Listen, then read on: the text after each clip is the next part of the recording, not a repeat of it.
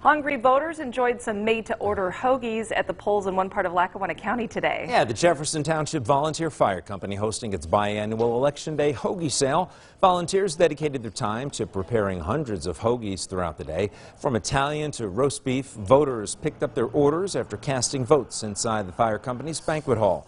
Curbside pickup was also available to those who voted by mail. Members of the fire company say they saw an increase in voter turnout this year. It's a simple thing, and like I, like I tell people, for just one person, it's it's a rather small way to help support the the fire company. Every year, it just keeps getting bigger and bigger and more popular. It's it's easy for people to come in and get a quick bite to eat. They don't have to cook lunch for the day or dinner for the day, and there's nowhere else you can get a six dollar hoagie like we make.